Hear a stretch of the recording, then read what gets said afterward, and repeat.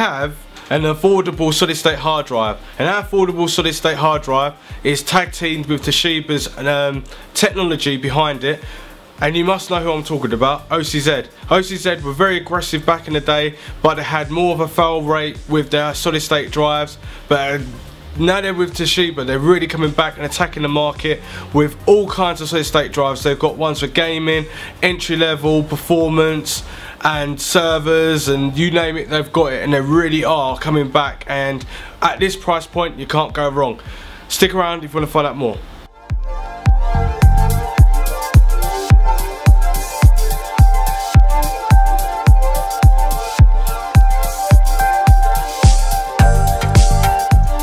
So we've got two solid state hard drives from OCZ and we benchmarked them already in real world results. Straight out of the packet and straight into a device, straight to the computer, read and write speeds straight off the bat and we just wanted to know what it's actually like. Instead of like keep testing it, testing it, testing it, we wanted to know straight out the box like how you would. You buy um, a solid state drive and you want to know how good the performance is straight away without testing it, testing it, testing it so you get the best marks. You just want it to be performing uh, overall with great stability because that's the whole point. You want to buy a solid state drive that's not gonna basically uh, run into problems and you, you, basically have got all your data on there and then it runs into problems and then it bricks itself and then you can't grab any data off. Well they've got like a five year warranty on these hard uh, solid state drives a three year warranty and you can't really go wrong.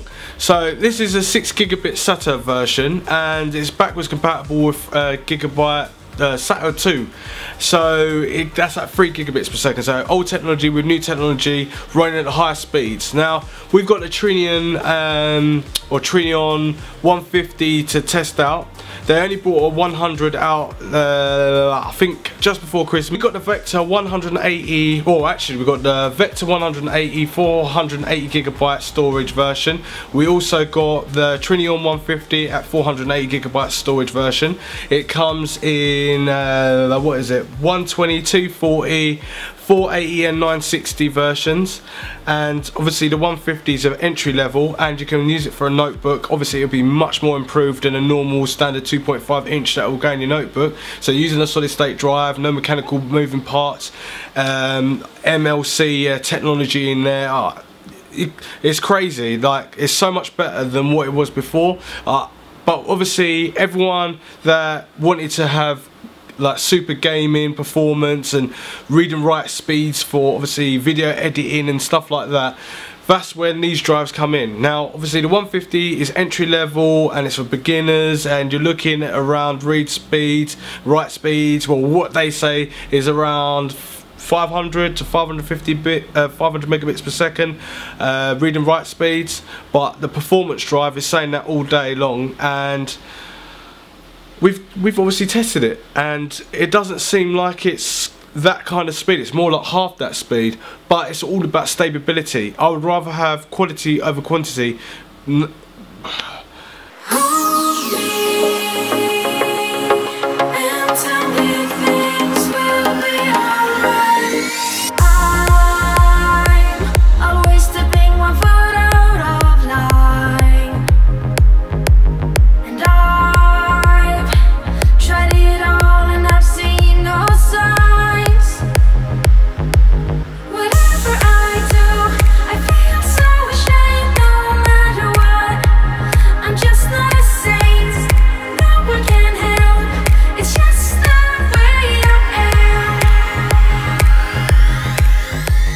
I'm going to have a look at um, OCZ's websites and this is what their sequential read and write speeds are meant to be.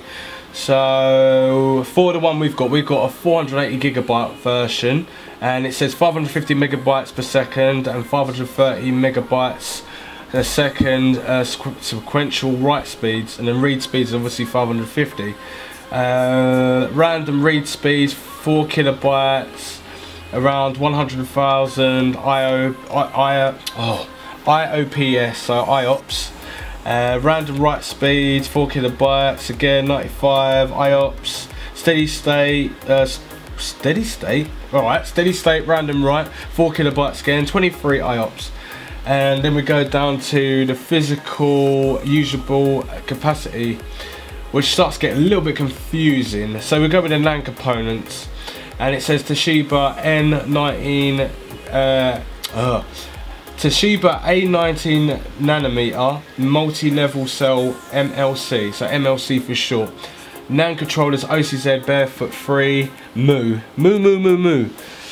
Uh, we got serial ATA uh, SATA 6 gigabytes per second, which SATA 3 and we've also got SATA 6 is um, we've got the backwards compatible SATA cables as well that can be connected to it uh, form factor 2.5 inch which we already know 7 millimeters in height and the ultra thin for notebook. So most of these solid state hard drives are still going to be um, staying at 7 mil. So that's that's not bad. The weight of it which doesn't really matter it's just 150 grams. Um, environmental power consumption, idle at 0.85 watts, active at 3.7 watts. Uh, operating temperature 0 degrees to 70 Celsius. Storage temperature 45 Celsius to 85 Celsius. Shock resistance uh, 1000 G to 0.5 milliseconds, vibrational operational 2.17 grams, 7,000 to 800 hertz, vibrational option. Do you know what? This is quite a mouthful right here. But basically, all you really want to know is, is this solid state drive going to have a warranty? It's going to last me. It's going to be fast, what they're saying, with the read and write speeds. It ain't going to get slower after the period of time and can I use it to game and I'm going to get the optional speed and I'm not going to have bottlenecking this is what we're here to talk about all that sort of stuff is very in-depth stuff and scientific if you're going to really benchmark stuff. I benchmark just to show you the kind of read and write speed straight out of the box. Maybe it will change. I'm using uh, 5930k uh, processor um, and it's not overclocked, it's water cooled and we're running uh, what graphics card GTX uh, 680 that's overclocked. I'm running Asus motherboard Rampage to go in it. So it's a 2011 version 3 motherboard. Then obviously I've got about 11 hard drives in there. Um, operating systems Windows 10 um, power supplies 860 um, 600 it's a digital Corsair and 60 watts power supply.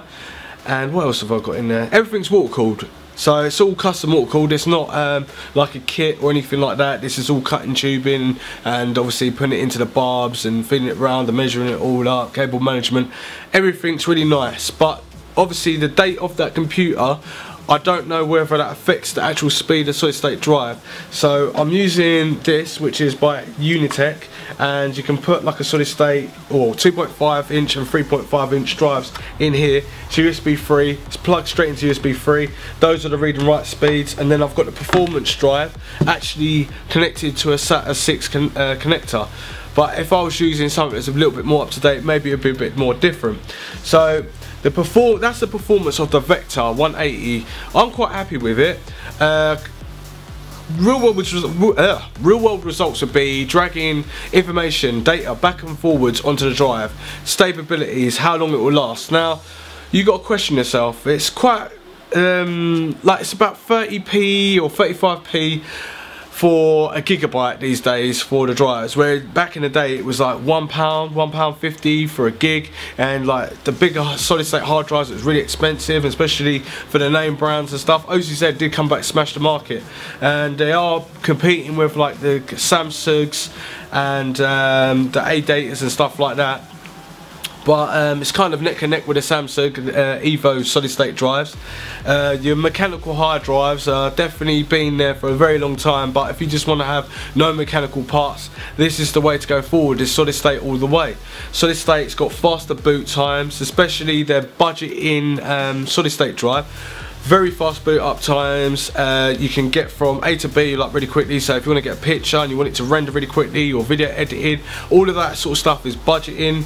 Uh, so these days solid state drives are kind of caught up compared to what they were back in the day um, there were some big players and you heard of the Revo drive and that was ridiculously fast. That's a PCI Express, going to PCI Express with your graphics card would, 16 times bus speed, straight into the motherboard and literally you would be blown away with how fast you were getting read and write speeds. I think it was something like something stupid like 960 megabytes per second read speeds and write speeds were just ridiculous compared to where we are now. And this was OCZ years ago so you can imagine how aggressive they're going to be right now especially being with Toshiba with um, the flash NAND um, TLC uh, NAND flash memory um, all in the storage and that and you've got better components and more stability.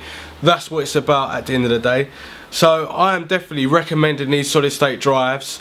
Um, I'm going to be actually putting it into a build and then I'm going to actually download a couple of games and I'm going to do some video editing and stuff like that and proper do some real world testing. Now I've done the other sort of testing where you do scientific testing to show that these drives are worthy and they don't buckle under pressure and they don't bottleneck with other components. Now this is kind of an older setup and it's more better for you because if you've got a newer setup that means your drives are going to run a lot faster than what I'm actually saying. So previously the benchmarking that you're seeing at the moment on this screen is you're obviously going to get more improved results but it's kind of a leverage to give you to know like what you're looking for. So if you're um, crossing over uh, pictures video 4k at least you know roughly that's the bottom end you're meant to be getting rather than the top end. So really good with that and I'm really quite impressed with how OCZ have come back partnered up with Toshiba and smashing the market right now. So I definitely recommend these uh, drives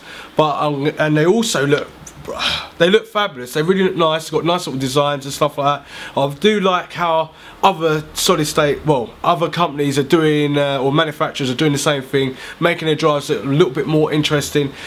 It's good because you can kind of put that in your build. You've got something that you paid for, and it's like really nice. And you, you don't want to just a bland solid state drive. You just want something that looks nice and it makes your build look nice.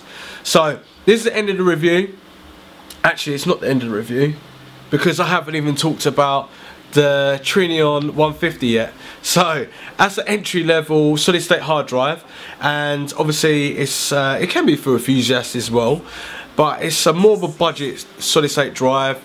It's kind of up there, as I said earlier, with Samsung Evo um, hard drive, uh, solid state drives because everyone kind of uses like the known sort of brands, which would be Samsung, ADATA, um, Scan, no, not Scan, uh, SanDisk. So the Trinion 150 it's got the same sort of technology, just a much better budgeting price but also it's definitely recommended as well because it's not too pricey as I said. Looks nice. Still stays in 7mm actual size so it will fit in a notebook no problem. Or you can use it as an entry level for gaming and stuff. And it's still got the better speed of a mechanical 2.5 inch hard drive. So whether it's 54 RPM speed or 7000 uh, 7000 oh my god 7900 RPM speed I think it is it's okay. This is a lot more faster but without mechanical uh, parts and it's also got 5 year warranty.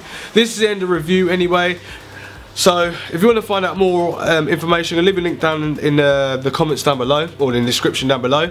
And don't forget to like us on Facebook, Instagram, I'm always on Instagram, I'm social as well if you want to ask any um, thing about these drives because I'm obviously going to put them in um, and build. It's going to be all solid state and it's going to be all for gaming, it's going to be wicked. And yeah, on Google Plus, on Facebook, so check us out there and on the website as well. All the links will be in the description down below. Thanks for watching and I'll see you next one. See ya.